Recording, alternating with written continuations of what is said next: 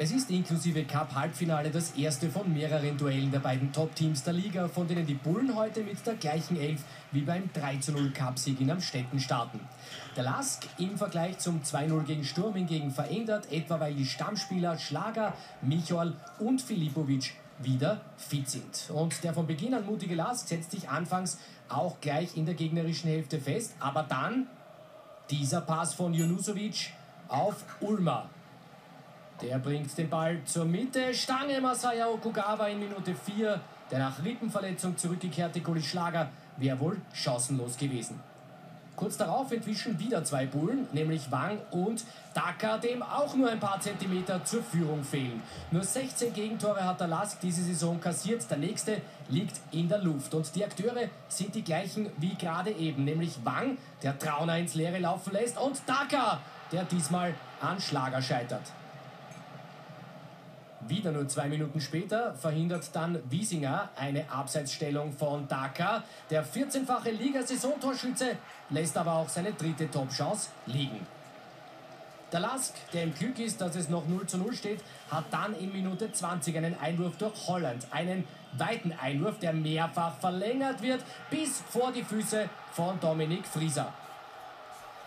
Das 1 zu 0 für den Lask komplett gegen den Spielverlauf. Da hat Trauner den Kopf im Spiel, dann Raguz und Onguene. Und Frieser trifft in seinem Jubiläumsligaspiel für den Lask, nämlich seinem 50. zur Führung. Es folgt Minute 25, in der Frieser Fagasch den Ball wegnimmt. Salzburg reklamiert ein Foulspiel. Der Lask spielt weiter. Holland und der nächste Treffer für die Gäste. Unglaublich. Salzburg hatte vier richtig gute Chancen und liegt plötzlich doch 0 zu 2 hinten. Voll war das keins an Fagasch. Alles korrekt. Und dann kommt natürlich auch Glück dazu. Umbuene fälscht den Schuss unhaltbar für Goli Stankovic ab. Und wie im Herbst führt der Lask früh mit 2 zu 0. Die Antwort der Bullen wieder durch Dakar. Vielleicht macht's Wang besser. Nein, es ist ein Spiel mit jeder Menge Torszenen. Eine davon folgt fünf Minuten vor der Pause. Und zwar, weil Holland eine ungewollte Kerze produziert. Dann springt Wiesinger der Ball weg, Junusovic, Okugawa und das Anschlusstor. Siebter Saisontreffer für den Japaner, bei dem der Lask aber kräftig mitgeholfen hat. Und das Geschenk nimmt Salzburg dankend an.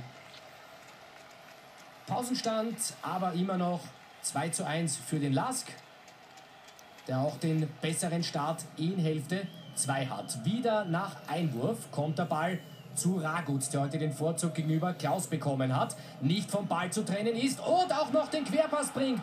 3-1. Der Lask hat nach knapp einer Stunde wieder einen Zwei-Tore-Vorsprung. Dank der Dribbelkünste von Marco Raguz, der den Hauptanteil hat am zweiten Treffer von Frieser. 42 Punkte hatte der Lask bis heute noch nie war ein Team mit der Ausbeute nicht erster, aber heute könnte es soweit sein. Weitschuss Michael, der Lask ist sogar dem 4 zu 1 nahe. Eckball Lask und Balic köpfelt an die Stange. Dann pfeift Schiri Lechner wegen eines Foulspiels ab. Der Treffer von Neuzugang Balic hätte aber gezählt. In Minute 81 dann Corner für Salzburg durch Ulmer und Enok Mepu macht sein erstes Ligator in dieser Saison. Das erste Gegentor des Lask nach einem Eckball überhaupt, weil man Beppo zu viel Platz lässt. Und die Truppe von Jesse Marsh, die sonst noch keine Torschance hatte nach der Pause, hofft nochmal, aber umsonst. Der Lask feiert im zehnten Auswärtsspiel der Saison den zehnten Sieg und damit auch die erstmalige Tabellenführung. Barbara Schulz hat nachgefragt. Ja, ist ein wunderschönes Gefühl. Um persönlich und auch für den Verein einfach unglaublich, was wir leisten und auch was wir heute am Platz gebracht haben.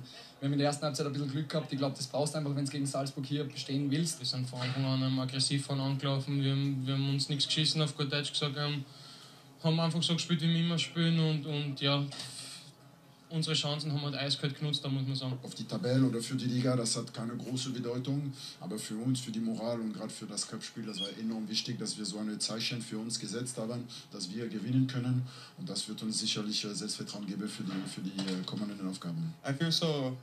Ich bin enttäuscht, mir bricht fast das Herz, weil ich so viele Chancen vergeben habe. Heute war leider einfach nicht mein Tag.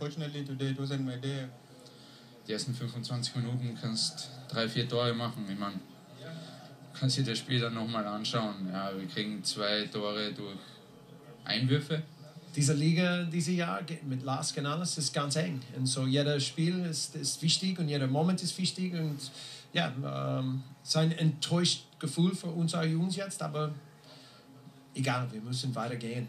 Den Lask haben wir schon noch ein paar Mal, das passt schon. 53 Bundesliga-Heimspiele in Folge war Salzburg unbesiegt. Nach über drei Jahren endet diese stolze Serie. Beim Lask hingegen endet eine negative mit dem ersten Sieg in Salzburg seit fast neun Jahren.